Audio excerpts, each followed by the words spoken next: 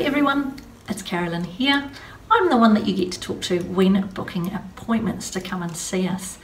Now, sometimes I'm hearing that uh, you don't have enough credit on your phones to call me back or even drop me a text.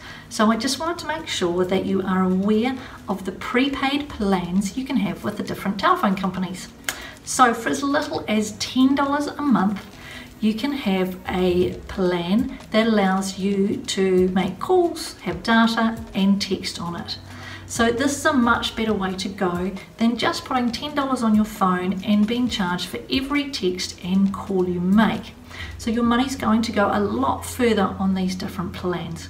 So check out the different mobile phone companies, see what suits you. They're pretty good at different combinations depending if you want to phone people more or use the text or data. Okay, so check it out. See ya.